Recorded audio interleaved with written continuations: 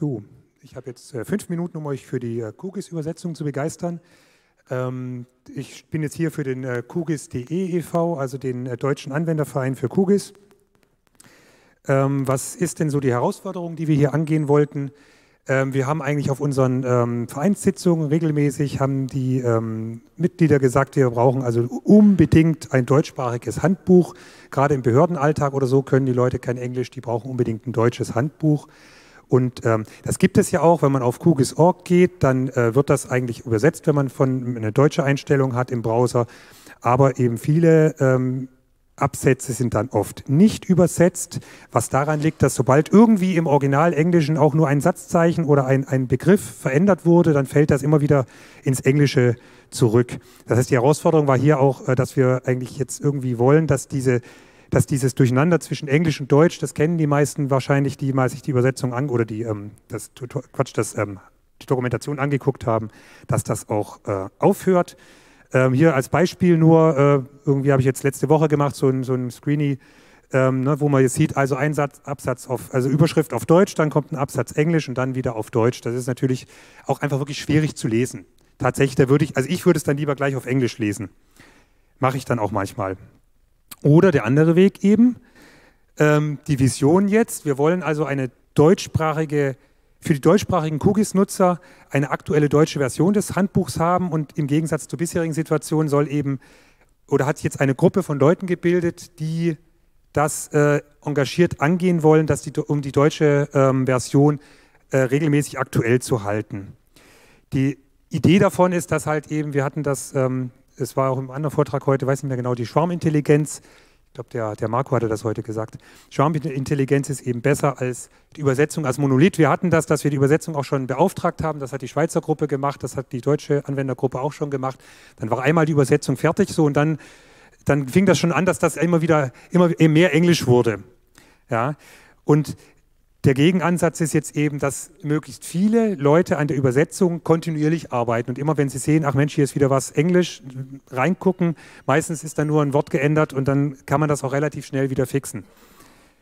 Ähm, wir haben auch weiterhin vereinbart, dass die Mitglieder ihre Prioritäten selbst setzen. Also wer, wer sich eben äh, für Projektion interessiert, der macht das Kapitel über die Projektion und wer eben äh, das über einen Server machen möchte, der macht das eben über einen Server. Also wir wollen da keinen wir geben da jetzt nicht vor, das sind wichtige oder unwichtige Kapitel, sondern das macht jeder bitte selbst. Und eigentlich ist auch vereinbart, dass wir uns regelmäßig treffen. Haben das jetzt ähm, im September hat sich die Gruppe gebildet. Wir haben uns im ähm, Dez Anfang Dezember im Rahmen vom Foskis in Essen mitgetroffen. Was machen wir im Moment nicht? Das heißt, das schieben wir im Moment nach hinten. Das heißt nicht, dass das nicht wichtig ist oder dass jemand andere das nicht auch gerne machen kann, aber wir wollen im Moment eben erstmal an der Dokumentation arbeiten und nicht an irgendwelchen anderen Texten. Wir wollen ähm, nicht vorrangig das Glossar vervollständigen. Das heißt, dass, ich jetzt, dass wir sagen, jetzt machen wir erstmal das Glossar und dann fangen wir an zu übersetzen, damit das eben einheitlich ist. Wir übersetzen jetzt nicht die GUI und wir schreiben jetzt nicht an der englischen Dokumentation mit, wobei natürlich jeder aufgerufen ist, das trotzdem zu machen, wenn das machen möchte. Ja, nur wir in dieser Gruppe machen es eben nicht. Äh, wir haben uns auch überlegt, wie machen wir es denn? Äh, wir versuchen einen einheitlichen Stil zu äh, fahren, dass, dass das ein bisschen mehr aus einem Guss auch wirkt für den Leser. Wir benutzen die Begriffe, die in der GUI auftauchen. Das heißt, selbst wenn die blöd sind, dann benutzen wir sie trotzdem. Ein Beispiel, früher hieß das Fangen, jetzt heißt es Einrasten. Das heißt aber in der Dokumentation muss dann eben auch Einrasten heißen. Und es darf nicht über Fangen stehen. Also man muss gucken, dass man das auch sauber dann benutzt. Aber wir benutzen eben die, die im GUI sind. Wenn es im Glossar einen Begriff gibt, dann orientieren wir uns an dem. Das, da muss man aber oft, also kann man sich nicht sklavisch dran halten. Das funktioniert einfach oft nicht. Und wenn wir meinen, dass wir im Glossar einen neuen Begriff einfügen müssen, dann ergänzen wir den. Aber wie gesagt, das ist eben nicht vorrangig, dass wir das Glossar auffüllen, also Übersetzung des Glossars, sondern wir ergänzen das dann an der Stelle nur. So, jetzt kommt ihr alle ins Spiel, die ihr das euch jetzt anhört hier. Äh, die Schwarmintelligenz braucht natürlich einen Schwarm. Ja? Ähm, wir haben einmal auf der kugis.de Seite das ist der erste Link. Da haben wir ein bisschen Informationen über die Arbeitsgruppe zusammengestellt. Da gibt es auch so einen Schnelleinstieg, wenn ich jetzt Übersetzer werden will. Was muss ich denn so alles tun? Das steht dort. Äh, es gibt auch auf der äh, Kugis.org-Seite gibt es eben auch nochmal einen Hinweis, so wirst du Übersetzer, aber eigentlich unsere Seite ist an der Stelle wahrscheinlich ein bisschen aktueller. Aber auf der Kugis.org-Seite stehen nochmal so allgemeine Hinweise, wie, was man wie übersetzen sollte.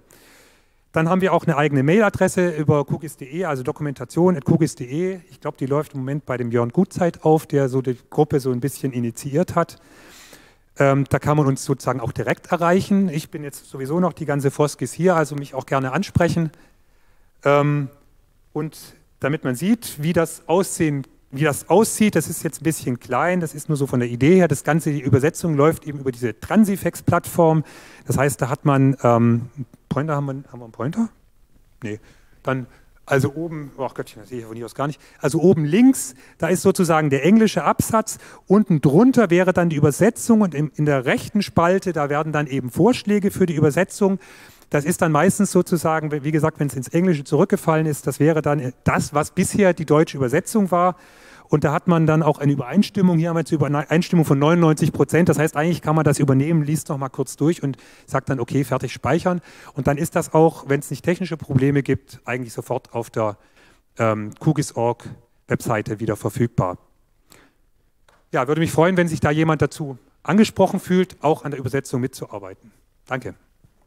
So. Dann danke an Bernhard und jetzt, wenn noch Fragen sind, dann äh, einfach Frage stellen.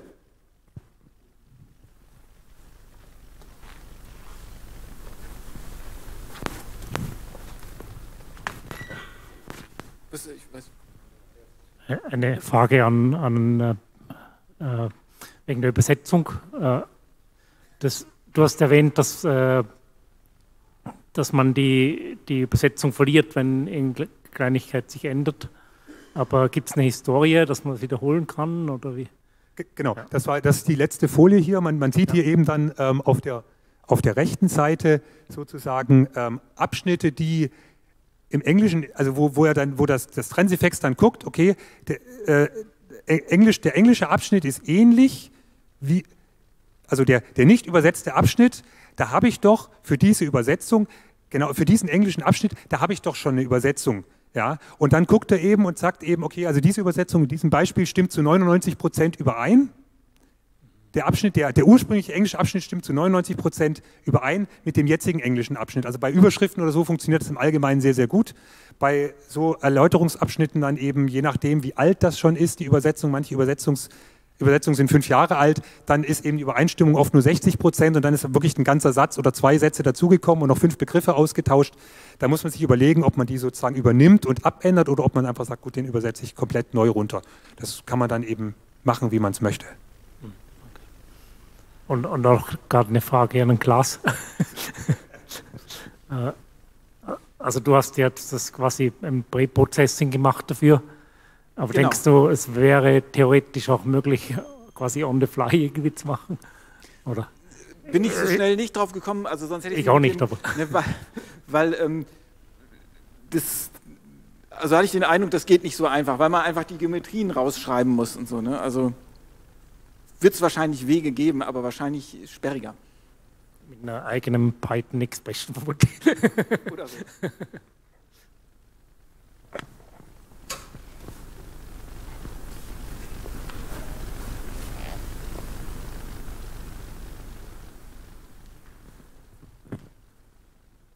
Keine Fragen mehr? Dann bedanke ich mich nochmal bei Klaas und bei Bernhard und ja, damit ist diese Session zu Ende. Bis morgen.